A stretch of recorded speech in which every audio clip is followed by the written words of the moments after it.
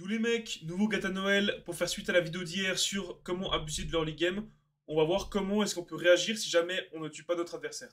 Dans le cas où on a réussi à prendre un bon trade, que l'adversaire ne peut plus jouer contre nous, mais que malheureusement on ne peut pas le tuer, ce qu'on fait, c'est qu'on va toujours essayer de crash la troisième wave. C'est-à-dire qu'on va slow push, on va push tranquillement, en essayant de faire en sorte que l'adversaire ne puisse pas contrer le push, donc ne puisse pas s'approcher.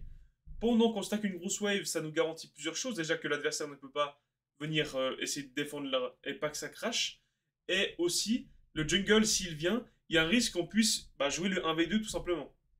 L'objectif étant de pouvoir mettre la wave sous tour, de pouvoir taper un petit back, on va, on reset à la base, et une fois à la base, on va pouvoir aller acheter un abatteur. Donc l'abatteur, c'est une item qui coûte 450, qui, on dit mais, vous donne une sorte de scaling, puisque vous allez au bout de 100 CS récupérer les gold que vous avez dépensés pour l'item, et vous gagnez un petit peu d'AD, et chaque auto-attaque vous, fait récupérer des HP. Donc là, on va vous montrer à quel point vraiment abatteur ça fait la différence. Donc là, en plus, j'avais abatteur et un bouclier de. Un bouclier de Doran. Mais imaginons maintenant que j'ai abatteur et une lame de Doran.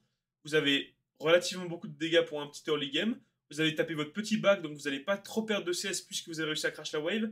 Et maintenant, lorsque vous allez activer votre Z dans les waves contre votre adversaire, vous allez récupérer 3 HP par proc du Z, ce qui fait que par seconde, vous allez pouvoir récupérer 9 HP. Je sais pas si vous vous rendez compte, mais c'est complètement insane. Et encore une autre chose que j'ai pas encore dit, le fait de pouvoir back pour l'abatteur comme ça, bah, si le jungle adverse avait décidé de path to top, donc de gank, de faire son premier gank au top, bah vous n'êtes plus là. Vous avez back pour aller lâcher un abatteur et assurer votre scaling. Donc lui, il n'aura personne à gank, du coup il va reset et il va aller ailleurs. Du coup, vous êtes, en guillemets, un peu plus safe. Voilà les mecs, c'est tout pour moi. Demain, on parlera d'une autre notion, qui sera de réussir à trade kill lorsqu'on a la prio sur la lane. D'ici là, d'ici demain, portez-vous bien, reposez-vous bien, il fait froid. Ciao les mecs.